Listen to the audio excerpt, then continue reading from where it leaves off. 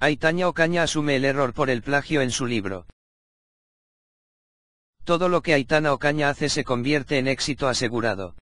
Aunque no consiguió ganar en su edición de Operación Triunfo, lo cierto es que se alzó con un más que loable segundo puesto. Una posición que, por cierto siempre ha dado más alegrías a quien la ha ocupado que a quien ha terminado el programa musical como triunfador.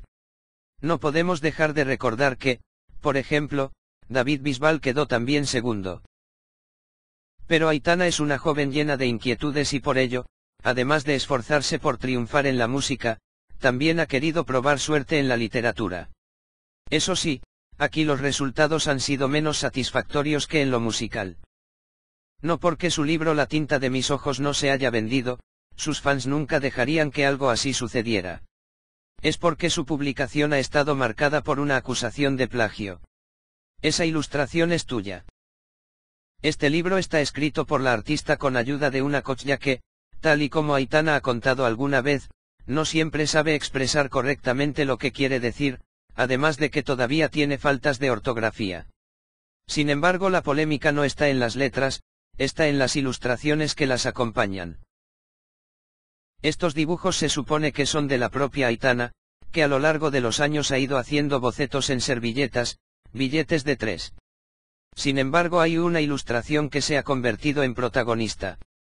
Su autora, Bianca Castellar, ha reclamado públicamente la autoría del retrato. En este caso, es un dibujo basado en esta fotografía y por ello Aitana pensaba que no pasaría nada por no acreditarla.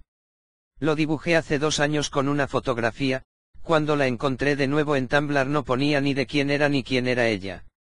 Estuve pensando mucho si publicar ese dibujo o no y finalmente pensé que al ser algo diferente a la fotografía no pasaría nada, error mío, se justificaba Aitana en Twitter.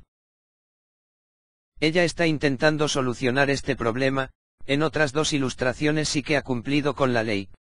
Sin embargo ha cometido el error que mucha gente comete, pensar que los contenidos que hay en Internet no son de nadie. Muchos artistas ven cómo su trabajo es utilizado sin su permiso.